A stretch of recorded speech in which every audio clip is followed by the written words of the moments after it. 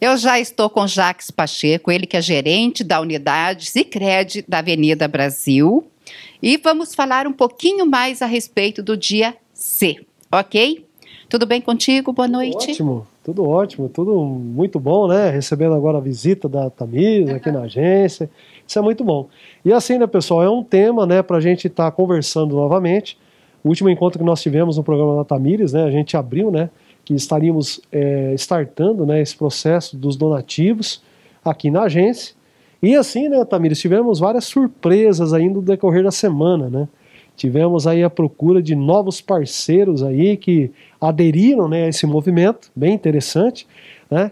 E nós estaremos aí com o dia C um pouco mais reforçado. Dia C é o dia né, de cooperar, é um dia que ele é comemorado no, no mundo inteiro, então, o primeiro né, sábado de julho né, de, de cada ano, ele é feito né, esse, esses projetos. Esses projetos né, do, do dia C, Tamires, eles estão ligados às ODS da ONU. Né?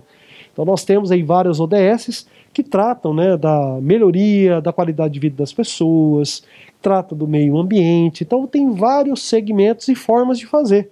Tivemos anos aí que nós é, Junto com parceiros aí, a gente incentivou né, o combate da dengue, tivemos também coleta de óleo para transformar em sabão também, né, para a gente poder reciclar os materiais. Fizemos já a revitalização de, de praças de escolas na região, a nossa cooperativa. Então, várias ações. E aqui em Marama, por alguns anos, né, a gente vem fazendo né, as ODS que cobrem a fome zero, né, que tragam e trazem aí né, a alimentação para as pessoas carentes. Então nós temos né, esse ano o desafio né, de ter a campanha em prol a Associação Vida e Solidariedade, que é a Casa da Sopa da Dona Maria, lá do Parque Industrial. Né, a gente já contou um pouco da história da Dona Maria, né, Tamires, no outro programa, mas assim, é uma pessoa de 87 anos que ela não descansa. Todo dia ela está lá com as voluntárias, né, preparando o almoço para as pessoas, né, para poder atender aquela comunidade. Então são de 150 a 180 marmitas por dia que ela faz, né, para entregar para as famílias daquela localidade e também de bairros, né, da região, aonde, né, muitas entidades carentes do município ficaram sem verba para atuar, né, e tiveram que fechar as portas, né, durante a pandemia. E a Dona Maria ainda mantém, né, fazendo as marmitas que antes era feito presencialmente. As pessoas entravam lá e se alimentavam lá dentro da entidade. Mas assim, agora está proibido, né? Também devido à pandemia, as pessoas para se alimentar têm que tirar a máscara e é muito próximo, né? Então acaba aí um risco muito grande de contaminação. Então, esse formato que ela achou para ainda continuar atendendo as pessoas. E como eu relatei para vocês né, no programa passado, eu tive lá, né, participando com alguns colaboradores, e a gente viu a dificuldade que está tendo esse ano mais ainda do que o ano anterior. É, esse ano, assim, né, a dispensa está vazia. Então, tudo que ela está arrecadando num dia, ela está servindo já no outro dia. Então, aí o ponto de atenção, né, as pessoas que dependem dessa alimentação, que muitas vezes é a única alimentação do dia, né, Tamires? Então, assim, muito sofrido para esse povo. Mas a grata surpresa que nós tivemos é que entrou mais duas cooperativas, né, junto com o Cicred, para a gente trabalhar com o dia C. Dentre elas, né, a Cevale, uma né? grande cooperativa. Uma grande cooperativa. E a nossa cooperativa aqui da cidade, que é a cooperativa de carnes nobres, a Cooper Caiuá. Então, né, o Vanderlei lá, que é o diretor financeiro, juntamente né, com, com o diretor-presidente, né, eles tiveram aqui né, e fizeram essa condição da, da gente estar junto também na arrecadação de alimentos. Então teve hoje, inclusive, de manhã aqui o Vanderlei, a gente vai estar né, também fazendo a divulgação lá dentro com os produtores rurais. Então, assim, somando forças, né, gente, para a gente poder estar atendendo essa entidade de forma diferente. E já começamos, né, o contato com alguns parceiros também, Tamires, para a gente ter pontos de coleta.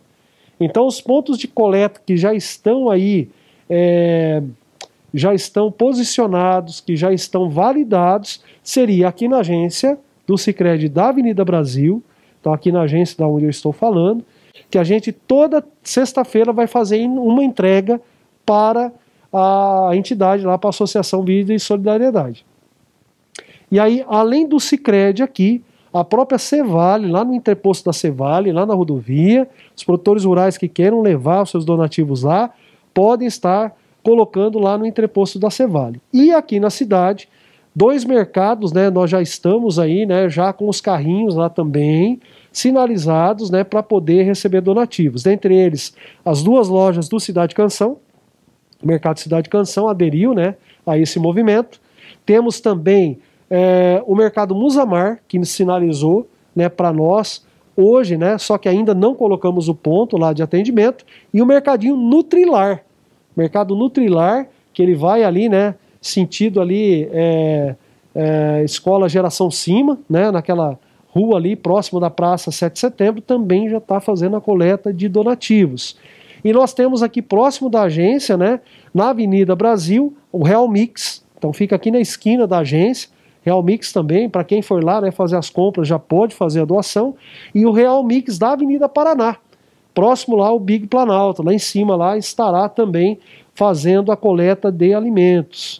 E aí a gente vai dando né, algumas informações depois é, complementares, porque tem muitas pessoas procurando o Cicred para poder fazer esse credenciamento. Então, né, se Deus quiser, nós teremos aí várias notícias melhores aí na próxima vez que a gente conversar, Tamiris. Ótimo. É, só uma situação. É, aonde tiver as coletas, que é mercado, a Real Mix e assim por diante, tem identificação lá, a Cicred. Isso, exatamente. Nós temos lá um panfleto de identificação e está lá validado né, esse ponto de arrecadação. Podem lá estar colocando seus donativos toda sexta-feira para não criar também acúmulo né, de, de produtos lá e também gerar é, problemas de contaminação. A gente vai estar coletando esse material, vai estar higienizando ele e estaremos é, entregando na, lá na, na, na associação né, lá da Casa da Sopa da Dona Maria, aonde a gente vai fazer, né, algumas matérias lá também para entrega desse, desses materiais. Ótimo. Outra coisa que me passou aqui pela cabeça, você falou da, da Cevale, né, que é uma grande cooperativa. É, vamos imaginar que o agricultor queira doar é, leitão. Matou um porquinho lá e tá tudo em pedacinho lá congelado no seu congelador e ele quer doar essa carne. E daí? Sem problema, é só entrar em contato conosco, né? Que a gente vai até a propriedade rural, a gente coleta né, esse produto e leva direto lá para casa da sopa. Inclusive hoje, Tamis, eu tive aí o contato de uma empresa, né, que é uma empresa de cunho rural. Ela faz entrega de hortifruti granjeiro para os mercados, né, entrega tomate, pimentão, também é, pepino, entrega para os mercados. E sempre aqui, todo, toda semana, ele vai vai até o mercado e aquele produto que está um pouco passado do ponto, está um pouquinho amassadinho, ou está um pouquinho maduro tal, tem que retirar da prateleira. Esse material, gente, é, geralmente ia para descarte. Nossa, dá para fazer Pois sopas. é, exatamente. Então, assim, a produtora rural me ligou hoje falando para mim que vai disponibilizar toda semana esse produto para a Casa da Sopa. Nossa, então bem. vai ajudar muito, né, eles lá, né, para poder ter esses produtos lá, para poder usar produtos, né, pessoal, que não estão estragados, né? É que passa um pouco daquele padrão que fica, né, no mercado para venda. Verdade. Lembrando vocês também que a Dona Maria, uma pessoa já idosa, né? É, ele, ela usa a aposentadoria dela para comprar produtos para fazer alimentação para acolher as pessoas né, que vão lá buscar a com a sua marmitinha, pega os potinhos de sorvete, né, vão lá, tá, leva o cheinho de comida. Então, tem tudo isso, gente. Para para pensar. Nós estamos pedindo para vocês que nos ajude a abastecer a dispensa lá na Dona Maria, para que ela possa continuar servindo as marmitas para essas pessoas tão famintas. Sim, e assim, pessoal, até lembrando, né, a Casa da Sopa da Dona Maria surgiu exatamente dessa aposentadoria dela. Verdade. Porque na época era aquilo que dava para fazer. Então ela colocava um pouco mais de água, né, né, para poder servir, conforme ia aumentando né, as pessoas. E aí começou a aparecer mais gente para doar, mais voluntários, né, para poder participar desse projeto. E foi crescendo. Hoje, né, a sopa ela já não é mais servida. Hoje é servida comida mesmo. Comida, arroz, né? feijão. Arroz, batata, feijão, exatamente. É, então, por isso, né, gente, é importante aí a gente pensar, né? Estamos aí entrando no frio, o clima está bem ameno já, né?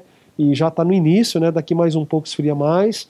E a gente sabe quanto que é difícil pessoas que estão aí vagando pela rua, né? Que não tem, né? Muitas vezes um agasalho, que não tem aonde dormir e ainda passando fome. Então a Dona Maria ela faz o atendimento das pessoas, das, das famílias que são cadastradas, mas ela não tem, gente, discriminação das pessoas que chegam lá pedindo auxílio. Então a pessoa conseguiu chegar lá até ela, ela vai auxiliar também da mesma forma. Sei que aqui em Marama tem várias entidades aí que fazem esse tipo de trabalho também, certo? E o Cicred vai ficar à disposição para os próximos anos aí, tá ajudando outras entidades também do município, mas esse ano a Casa da Sopa é o nosso foco e a gente vai fazer esse atendimento e pedimos a colaboração de todos, associados, não associados. Ah, Jacques, eu quero fazer uma entrega e ficar mais perto para mim na agência. Mas eu posso aí levar? Pode sim, gente. Só chegar ali na recepção, falar com o pessoal do autoatendimento, que eles vão estar tá direcionando o seu donativo aqui para dentro da agência. E a gente vai estar tá dando, né, entregando esse, esse donativo lá direto na Casa da Sopa. Jacques, é... agora o dia C é o dia 3. Isso. 3 do 7. Exatamente. E como será? Bom, assim, né, Tamires, esse ano, como né, a necessidade da, da associação era muito assim, é, é, imediata, né, para poder fazer esse atendimento, nós resolvemos começar praticamente com um mês de antecedência. Então, no dia 31 do 5, segunda-feira, a gente começou, colocamos aqui o ponto de coleta e começamos a coletar os produtos, os donativos, certo? Cada sexta-feira nós vamos estar entregando os lotes dos donativos que a gente for recebendo. Então, assim, ah, eu tenho um produto que não é aquele produto não perecível, tem um produto que precisa ser é, entregue, de imediato. entregue de imediato e eu não posso ir lá entregar, ou não posso trazer aqui no Cicred. Pode ligar para nós, tá, gente? Independente de qual produto, de qual donativo for, a gente vai até a tua residência, tá? E a gente faz, né, a, a coleta desses donativos para levar lá. Então, assim, telefone de contato aqui da agência é o 3622 4555. 3622 4555. Aí ligando aqui, a gente vai lá coletar esse material para poder estar levando lá para a Casa da Sopa, certo? Então nós vamos fazendo semana a semana. No dia 3 do 7, que é um sábado, nós estamos programando a coleta direta nos mercados e nos pontos também de, de, de, de parceiros, né? Então nós vamos ter aí, estamos vendo também lojas de roupas, estamos vendo aí também farmácias, né? Para a gente coletar produtos de higiene pessoal e também os agasalhos e roupas aí para doação. Então, assim, pessoal, para acontecer isso no dia 3 do 7, nós estamos dependendo da autorização da vigilância sanitária. Nós queremos fazer isso né, de uma maneira bem tranquila, né? Nós vamos ter aí no máximo dois colaboradores por ponto de coleta, né? de uma maneira que vai estar tá com máscara, com álcool gel, né? recebendo na maior segurança para que a gente possa né, não estar é, disseminando aí a, a, o contágio do vírus, né? que a gente faça um negócio seguro para que ninguém se contamine. A gente tem que sempre lembrar, né, gente, que o vírus é, ele mata. Né? Nós temos aí né, vários casos na cidade, está bem, né? Complicado o setor de saúde, de saúde, né? Mas eu acredito que a fome também mata, certo? E é uma situação imediata. E, e, também pode, né, agravar outras doenças também, né, que não é só o Covid, né, que leva a óbito, são outras coisas também. Então eu acredito que é uma responsabilidade muito grande, né, de nós como, como instituição de estar aí ajudando, né, essas entidades aí beneficentes do município que, de, que depende muitas vezes de verba pública e a gente sabe que a verba hoje está mais direcionada para o, a questão do Covid.